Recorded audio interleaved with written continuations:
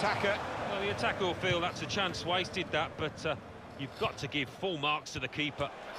Remy.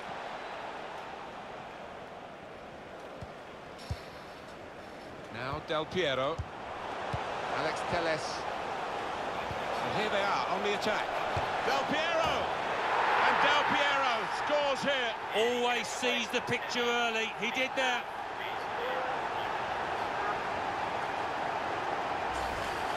It is an occupational hazard for goalkeepers. When you have a bad day, this is what happens. Yeah, quite right, and he's going to get absolutely hammered in the press tomorrow. You can see that coming. I don't think we expected this. Such a one-sided affair, but look at the scoreline.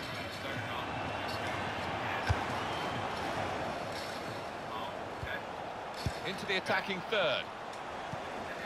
Hummels. Fabinho. Alex Del Piero. Ronaldo. Ronaldo! He's delivered. Alex Del Piero. He's not a blaster of the ball, is he? But such a clever finisher.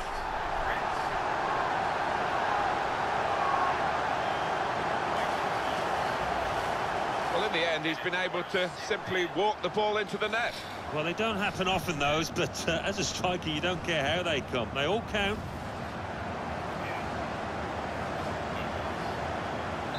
I have to say, it's so one-sided today, but all credit to the team that are racking up the goals. Nothing so far in this game to surprise.